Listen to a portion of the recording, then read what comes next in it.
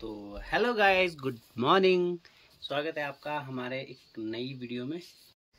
तो गाइस आज ठीक हफ़्ता या दस दिन के बाद मैं व्लॉगिंग कर रहा हूँ, क्योंकि मेरे आई फ्लू हो गया था, काफ़ी इन्फेक्शन हो गया था आई में, आँखें काफ़ी लाल हो गई थी।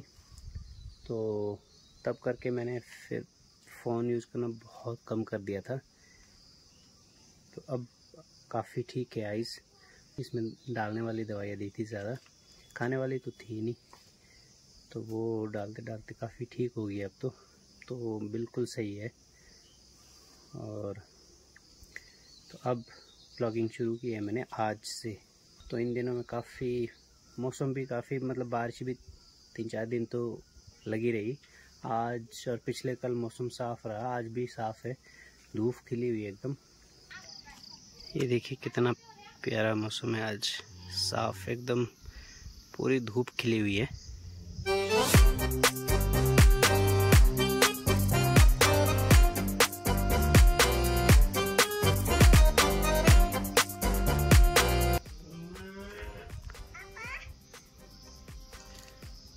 हाँ जी।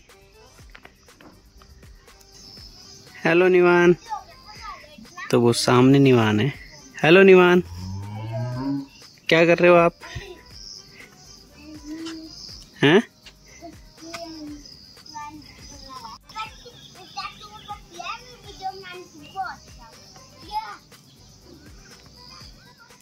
वो नीचे विदुषी है।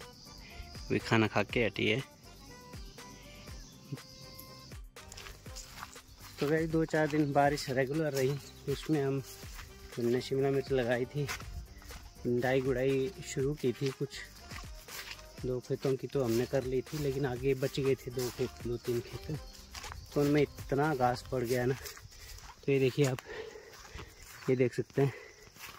घास ही घास है, अब तो शिमला मिर्च तो दिख ही नहीं रही है। तो आज से शुरू करेंगे ये निंदाई। ये देखिए, इसमें बीच में शिमला मिर्च है, ये रही शिमला मिर्च और ये घास देखिए। कितना सारा घास है। तो अब तो टाइम भी लगेगा इसको निडाई करने में कि घास, क्योंकि घास निकालते निकालते टाइम लग जाता है साथ में। अगर घास कम हो तो जल्दी हो जाता है बस। फटाफट निडाई कर लो। लेकिन बारिश ही बीच में ऐसी हुई कि ना तो बारिश ने मौका ही नहीं दिया निडाई करने का। और उसी दौरान घास भी एकदम बूस्ट कर गया।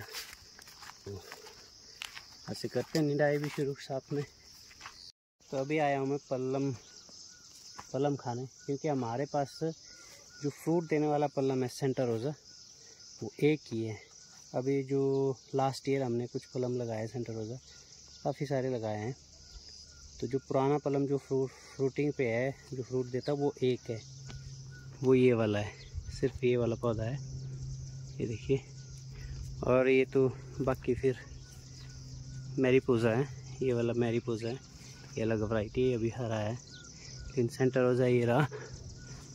ये देखिए। कितने प्यारे हुए हैं पल्लम देखिए कितना बड़ा बड़ा साइज़ है।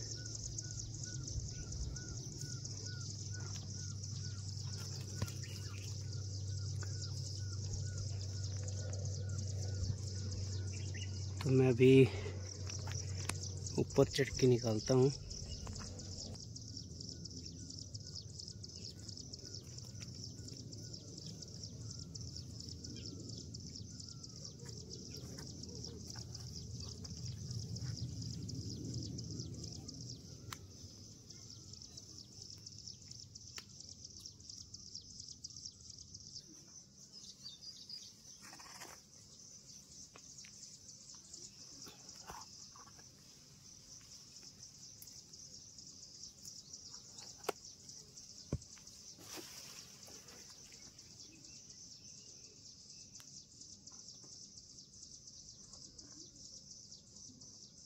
तो गाइस देखो कितने सारे पल्लम।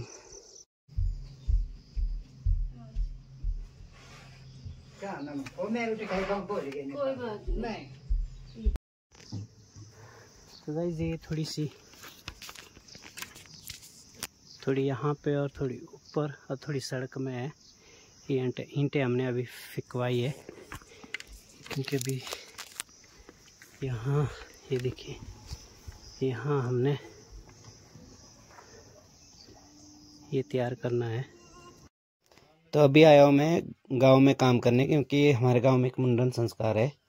तो हम, हमारे यहाँ क्या रीति रिवाज है कि गाँव वाले ही सुबह शाम का ब्रेकफास्ट और शाम का खाना बनाते हैं। बाकी धाम में तो हम रसोइया लगाते हैं। मैक्सिमम आजकल क्या ट्रेंड बना चल, बना हुआ है कि धाम में रसोइया लगाते हैं। बाकी जो है, सुबह शाम गाँव वाले बनाते भी हैं और खिलाते भी हैं क्योंकि हमारा जो पुराना ट्रेडिशनल वे है, उसमें गाँव वालों का काफ़ी हाथ है। तो वो अभी तक चला हुआ है कि गाँव वाले मिलके खाना बनाते हैं, इकट्ठे होते हैं सारे, मिलके खाना भी बनाते हैं। काफ़ी मतलब जहाँ जिस घर में फ़ंक्शन होगा, उस घर के लिए काफ़ी सपोर्ट होता है गाँव वालों का। अभी भी वही पुराना ट्रेडिशनल वे चला हुआ है। तो गैज अच्छा आज के लिए इतना ही। कैसा लगा आपको आज का ब्लॉग अच्छा लगा तो लाइक शेयर एंड कमेंट करें। और वीडियो पे नए हो तो चैनल को सब्सक्राइब करें। और बेल आइकन को प्रेस करना ना भूलें। मिलते हैं जल्दी एक नई वीडियो में। तब तक के लिए टेक केयर